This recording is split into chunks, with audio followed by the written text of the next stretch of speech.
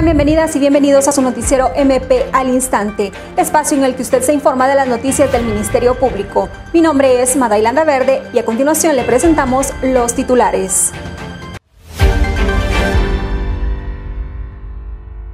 Como parte de los allanamientos realizados por unidad de bancos, se logró la captura de cinco personas.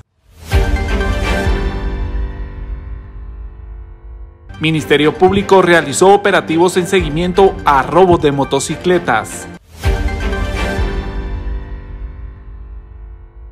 La Unidad de Delitos relacionados con los bancos, aseguradoras y demás instituciones financieras de la Fiscalía contra el Crimen Organizado coordinó con apoyo de la PNC ocho diligencias de allanamiento en el municipio de Ipala, Chiquimula. El resultado, cinco capturas y el secuestro de un vehículo de modelo reciente. Los indicados son Fernando Abraham Herdes Pérez por delitos de hurto agravado, uso de información y lavado de dinero u otros activos, mientras que por delitos de apropiación irregular, encubrimiento propio y lavado de dinero u otros activos fueron aprendidos Leonel Erube Sagastume Aroche, José Efraín Alarcón Martínez, Óscar Armindo Herrera Mellado y Pedro Luis González Hernández.